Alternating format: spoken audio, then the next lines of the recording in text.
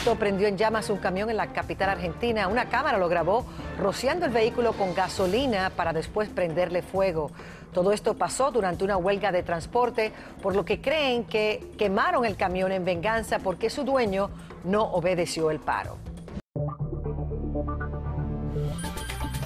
Cada vez que la vida nos estremece inesperadamente, nos damos cita e investigamos para que tú estés bien informado. En Arrojo Vivo estamos conectados con nuestra comunidad, con sus necesidades y sus urgencias. A las 4, 3 Centro. Somos tu primer frente de información.